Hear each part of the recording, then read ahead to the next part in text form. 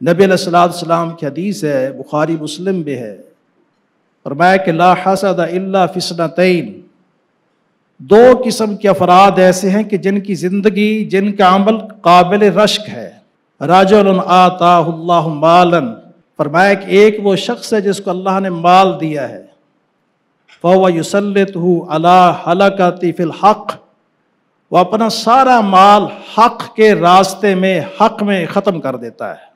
दूसरे नंबर पर राजुल आताहुल्लाहिकमा दीगर हदीस में कुरान का लफ्ज़ भी आया है, लेकिन इस हदीस में अलहकमत का लफ्ज़ आया है।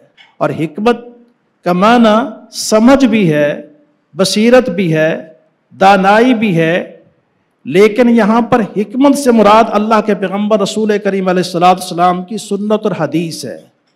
और ये हमत के जो दीगर मानी है, सही बुखारी के अंदर इमाम बुखारी रहमल्ला ने दीगर मकाम पर उन चीज़ों की वजाहत भी की है।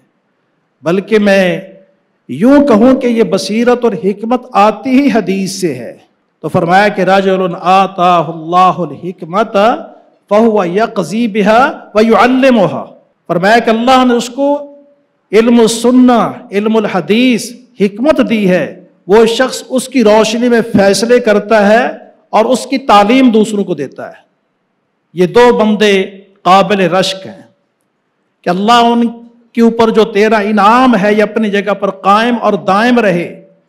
और हमारे दिल की चाहत यह है जो कि हम जबान हाल से या जबान काल से तेरे सामने अपनी दरख्वास्त रखना चाहते हैं कि हमें भी इसी तरह की तोफ़ी नसीब फरमा। दुनिया के मामलात में किसी और चीज़ में कोई रश्क नहीं किया जा सकता, लेकिन ये दो किस्म के अफराद ऐसे हैं कि जिनकी ज़िंदगी, जिनका अमल काबिल रश्क है। जिससे आप अंदाज़ा करें कि वो दीन जो कि दीन वही है, इल्मुल कुरान इल्म सुन्ना, अल्लाह अपने पैगंबर को हुक्म दे रहे कि आप इसको मजबूती से पकड़ो। अब इसके नतीजे के अंदर इन नहुलक वाली कौमिक, इल्मुल वही से जुड़ जाने वाले लोगों, ये तुम्हारे लिए भी एक शरफ फजल और फ़ख्र की बात है सिर्फ़ तुम्हारे लिए नहीं, बल्कि तुम्हारी कौम के लिए भी। इमाम मालिक रहमल्ला फरमाते हैं कि यहाँ पर लजिक्रलक वाली कौम का इससे मुराद ये कि कौल रजोल हदसनी अबी अन जद्दी। ये इमाम मालिक रहमल्ला ने इसकी तफसीर की है।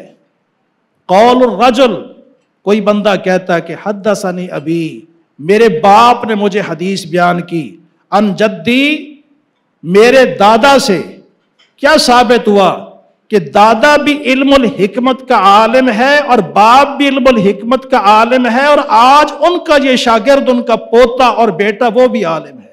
इसी माने को रसूल करीम सलाम ने इस माने के अंदर भी बयान के खैरकुम मन तल्लमकुरान और बुखारी के अल्फाज ये भी कि अफजलकुम। तुम सबसे अफजल तरीन शख्स वो है जिसने कुरान सीखा और कुरान सिखाया।